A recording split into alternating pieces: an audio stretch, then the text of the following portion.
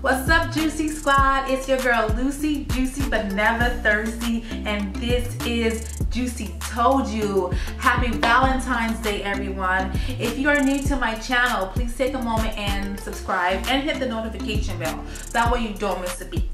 Speaking of beats, today I am creating this uh, anti-Valentine's Day look, if you would may. It's anti because I'm single, I don't have a babe, and maybe I'll get one in time. So this look is kind of edgy, but still flirty. You know, I got the smoky pink edges, but dark and seductive and mysterious.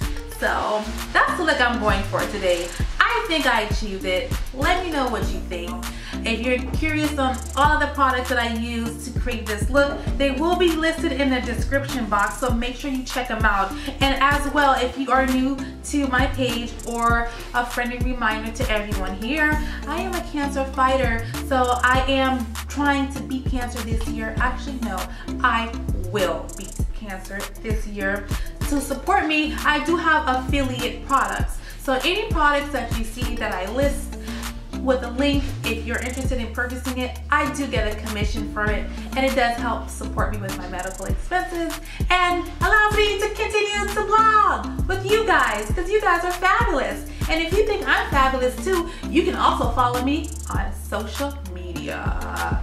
All right, guys, please enjoy these chocolate kisses, these melanin kisses, these special Valentine truffle juicy kisses. All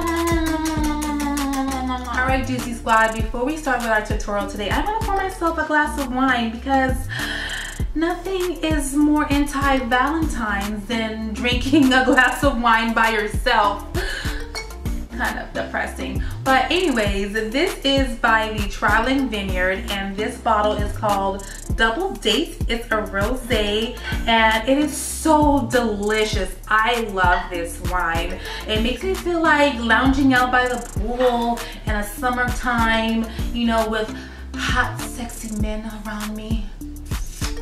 Okay, sorry. Anyways, yeah, but it's kind of like a fruity, um, bubbly, watermelon mixed with berries all together. If you're interested in finding out how to get your own bottle of Double Date, please look in the description box and you will find a link. But without further ado, let me figure out how to uh, get this open.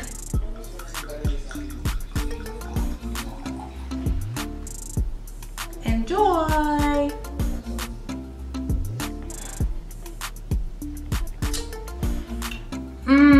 This wine is delicious. The sweetness is not overpowering and it has a light fizz to it and it's just so refreshing. Oh my goodness, I love this. Mm. Who needs a bae when you got like good glass of wine? I think it is safe to start this tutorial. Let's see what we're gonna do together with our makeup. I'm ready, I'm ready, I'm ready, I'm ready. Who's ready to do their makeup, to do their makeup?